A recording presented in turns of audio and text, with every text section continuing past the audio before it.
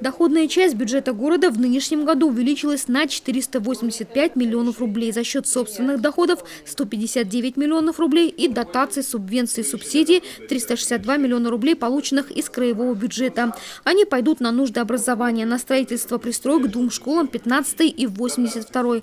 Расходная часть тоже увеличилась и составила 521 миллион рублей. Основная часть из этих средств теперь в расходной части уходит на э, погашение судебных решений, это 115 миллионов рублей. Затем на э, содержание клуба «Истоки», тот, который Дом культуры на КСМ, э, отремонтирован, все, теперь его надо содержать. Ремонт музея в Адлере направлено и ремонт спортзала э, в 81-й школе, это в Лазаревском районе. Кроме того, на цветочное оформление по подготовку к чемпионату мира.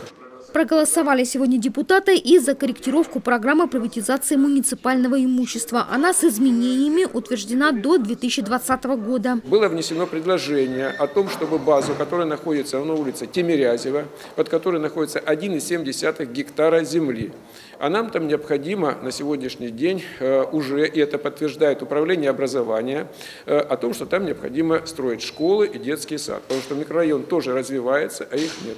Поэтому мы исключили из программы приватизации, это акционерное общество, где вот эта база находится, и сделали протокольную запись о том, чтобы этот земельный участок, который э, будет, он будет направлен на подготовку проектно-сметной документации для размещения там социальных объектов. Из программы приватизации также были исключены пять свободных помещений, которые будут на льготных условиях отданы малому и среднему бизнесу в аренду. Не подлежит приватизации еще 10 подвальных и полуподвальных помещений с инженерными сетями. В дальнейшем будет определено, в чьем пользовании они будут находиться дальше.